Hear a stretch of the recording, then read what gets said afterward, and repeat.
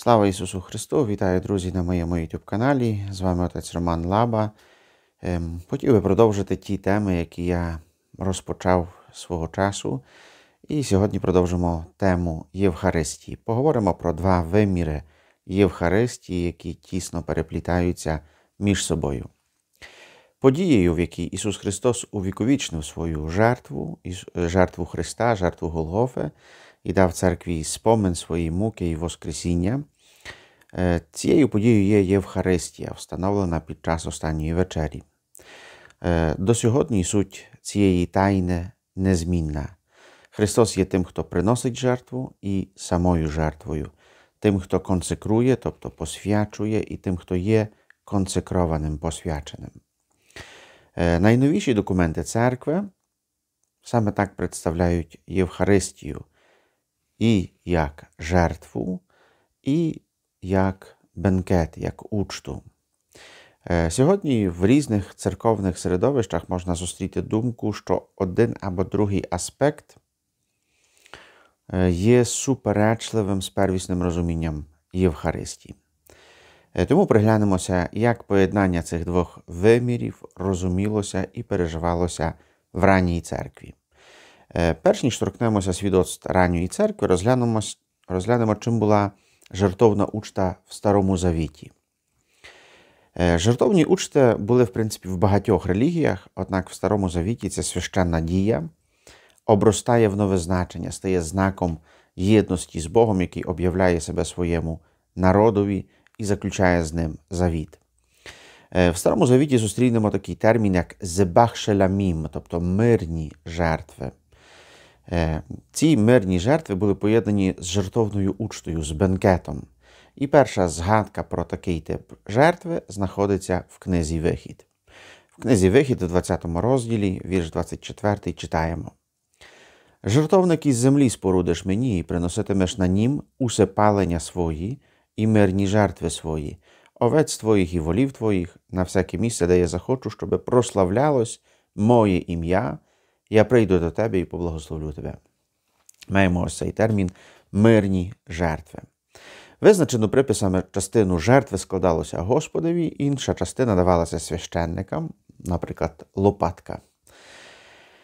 А решта давалася на учту тим, хто приносив цю жертву. Якась родина приносила жертву, і, власне, вони мали потім з цього учту. Е, в бенкеті могла брати участь вся родина, а також навіть невольники і убогі. М'ясо споживалося учасниками учти, а жир і кров були призначені для Господа. Е, спільне спожиття з жертви було таким актом входження в спільноту з Богом. І про таку учту, яка відбувається під час складення жертви або після складення жертви, читаємо в книзі Вихід в 24 розділі. І написав Мойсей усі слова Господні, і, вставши рано вранці, спорудив жертовник під горою і дванадцять стовпів за дванадцятьма колінами Ізраїля, і послав юних синів Ізраїля, щоби учинити всепалення і пожертвувати Господові телят, як мирні жертви. Ось маємо цей вираз мирні жертви. Взяв Мойсей половину крови і налив її в миски, а половину вихлюпав на жертовник. Потім узяв книгу завіту і прочитав на слух людям, що казали. Усе, що сказав Господь, зробимо і слухатимемось. Взяв тоді Мойсей кров та покропив на людей і сказав: Це кров союзу, що уклав Господь із вами, згідно з усіма цими словами. І зійшли вгору Мойсей та Аарон, надав та Авігу і сімдесят старішин Ізраїля. І тепер увага, читаємо в 10 вірші. І побачили вони Бога Ізраїля, під ногами в нього, наче плита сапфіру і така чиста, мов саме небо. Та він не поклав руки своєї на цих вибранців і синів Ізраїля. Вони побачили Бога, проте їли і пили. Книга Вихід, 24 розділ, це від вірша 4 по 11. Також жартовні учти згадуються в книзі чисел, числа 28 розділ, книга Второзаконня, 12 і 27 розділи. Е, ці два елементи жертви і учти, вони також присутні під час споживання Пасхи. Ізраїль приносить в жертві пасхального агнця, а потім в родинній спільноті відбувається його споживання. Ну і в книзі Вихід в 12 розділі, в цих приписах, які говорять про Пасху, так і читаємо: нехай їдять м'ясо тієї самої ночі, з печеним на вогні, нехай їдять його, з опрісноками та зелами нехай їдять. Не їжте ніякої сировини, ні звареного в воді, а тільки жарене на вогні із головою його, і з ногами та з нутрощами, і не зоставлятимете нічого до ранку, що ж з нього зосталося би до ранку, спалите на вогні. А їстимете його ось так: стегна ваші підперізувані, обув'я ваше на ногах ваших, і костури ваші в руках у вас, і їстимете похапки Пасха то Господня. Книга Вихід, 12 розділ від 8 по 11 вірші. Теж в книзі пророка Ісаї, де мова про заповідь вічного союзу з домом Давида, є теж мова про учту. Ой, всі ви спрагнені, ідіть до води, навіть ті, в кого грошей немає. Ідіть, купуйте і споживайте, ідіть, купуйте без грошей, без плати вино та молоко. Навіщо ви витрачаєте гроші на те, що не є хліб, і вашу працю на те, що не насичує? Слухайте мене уважно і будете їсти те, що добре, і душа ваша розкошуватиме у ситі. Прихиліть ваше вухо і прийдіть до мене. Слухайте, і душа ваша буде жити. Я дав вам союз вічний незмінні милості обіцяні Давидові. Книга Ісаї, 55 розділ. Е, теж подібні пророчі прообрази можемо побачити в дидактичних або сапієнціальних книгах, зокрема в книзі Приповідок, 9 розділ, книга Сираха, 24. Е, з євангелічних описів останньої вечері можемо зауважити, що ця подія, остання вечеря, відбувається в контексті пасхальної учти.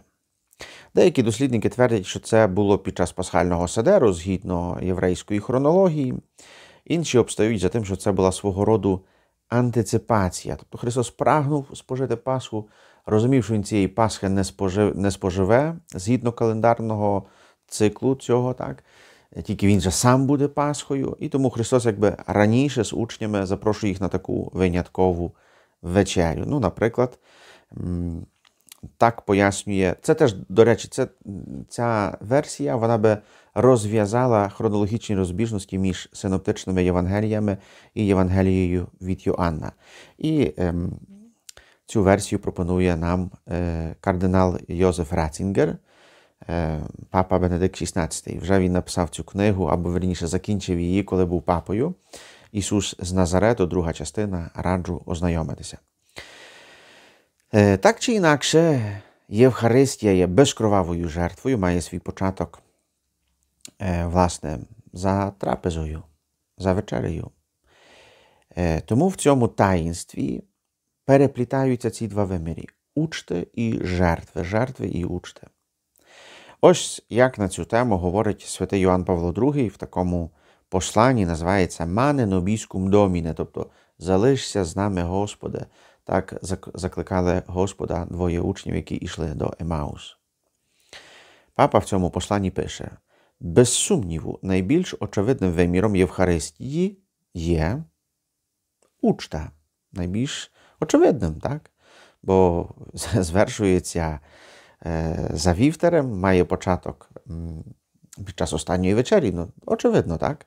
Євхаристія народилася увечері Великого Четверга в контексті Пасхальної вечері, говорить Іван Павло II. Тому в її структуру вписаний сенс учте, беріть і їжте. Потім взяв чашу і подав, кажучи, пийте з неї всі. Цитує Іван Павло II, Євангеліє від Матея, 26 розділ. Цей аспект добре виражає відносини спільноти які Бог прагне з нами нав'язати і котру ми самі повинні розвивати в наших взаємних стосунках. Не можна, однак, забути, що Євхаристійна учта має також і перед усім, перед усім, то що є суттю цієї, цієї учти жертва. Має також і перед усім, говорить Іван Павло II, вимір жертви. В ній Христос представляє нам на ново жертву, складену раз назавжди на Голгофі. Хоч є в ній присутній як Воскреслий, носить знамена своєї муки, споменом якої є кожна свята Меса, як про це нам пригадує акламація після слів консекрації. Проголошуємо смерть Твою, Господи, визнаємо Твоє Воскресіння. Погляньмо тепер, як ці два виміри розумілися ранньою церквою. Ясна річ, що деякі отці будуть більше підкреслювати вимір учте, деякі більше вимір жертви, але я хочу показати, що і один вимір, і другий є присутні в творах ранніх отців церкви, ну і взагалі в отців церкви. Е, почнемо від такого документу Дідахе, наука 12 апостолів. Дідахе твір, який деякі вчені датують десь на 70-ті роки, але більшість дослідників говорить про 90-ті соті роки. Ну, в принципі, я теж схиляюся до цих, до цієї пізньої датації. В 9 е, і в 10 розділах ми читаємо такі перші позабіблійні тексти на тему Євхаристії. Отець Луї Бує, такий видатний дослідник історії Євхаристійної літургії, як розвивалася Євхаристія, він вбачає в цих текстах тяглість з традицією Ізраїля. Вони дуже пригадують єврейське бераха, благословіння або берахот в множині. І в 10 розділі ми читаємо про вимір учте. Ти, владико, Вседержителю, сотворив усе задля імені Твого, їжу і пиття дав людям на поживу, щоб тобі дякувати, а нас ти обдарував духовною їжею і питтям, і життям вічним через Ісуса, отрока Твого. Дідахе, 10 розділ. Е, в дальшій частині творів, в розділі 14 маємо, читаємо про вимір жертви. Зібравшися разом у Воскресний день Господній, приломлюйте хліб і чиніть подяку Евхаристія, визнавши перед тим свої провини, щоб ваше, ваше принесення, маємо слово принесення, але то є то саме слово, що слово жертва, щоб ваше принесення було чистим. Кожен, хто посвариться із своїм ближнім, нехай не приходить до вас, поки не примириться, щоб ваше принесення не було осквернене. Тому в деяких локальних церквах, наприклад, теж в амврозіанському обряді, знак миру передається перед принесенням дарів, тобто відразу після молитви вірних. Бо сказав Господь у кожному місці у будь-який час приносите мені чисту жертву. О, прочитаю ще раз, щоб контекст вхопити, так? Нехай не приходить до вас, поки не примириться, щоб ваше принесення не було осквернене, бо сказав Господь у кожному місті у будь-який час приносите мені чисту жертву, бо я великий цар, каже Господь, ім'я моє дивне серед народів. У цьому невеличкому фрагменті слово жертва звучить аж три рази. Ну, В нас два рази слово принесення і один раз слово жертва, але грецькою мовою в усіх трьох випадках є слово пхізія або фізія. Ем, автор Дідахе повчає, що примирення з ближнім, з братом є умовою принесення чистої жертви, достойної участі в Євхаристії. І про це заповідав пророк Малахія, щоб на кожному місці, кожному часі приносити чисту жертву. Щоб ту чисту жертву приносити, потрібно і приносити чистим серцем, говорить автор Дідахе. Святий Клементій Римський більше підкреслює вимір жертви в Євхаристії. Е, в посланні до корінтян він говорить: ті, отже, що у визначений час складають свої жертви, милі йому і щасливі, адже ті, хто дотримується повелінь Господа, не помиляється. Е, в свою чергу, в свою чергу, інший отець, святий Ігнатій Антіохійський, говорить більше про вимір учте. Тому покоряйтеся єпископу і пресвітерству в довершеній однодумності, переломлюючи один хліб, це ліки безсмертя, що не тільки оберігають від смерті, але й дарують життя в Ісусі Христі.